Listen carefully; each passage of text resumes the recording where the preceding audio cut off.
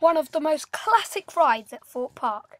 this is Nemesis Inferno documentary.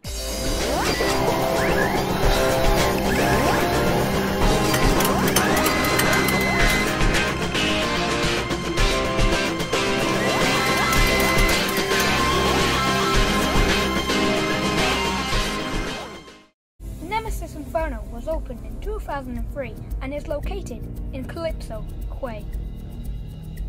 Its peak height is 95 foot. Its top speed is 50 miles per hour.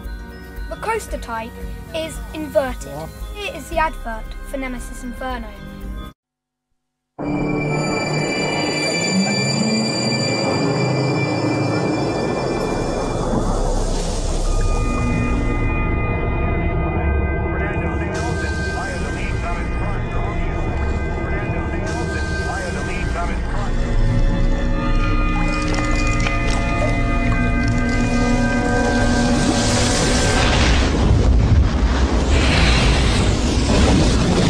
Heat of Nemesis Inferno.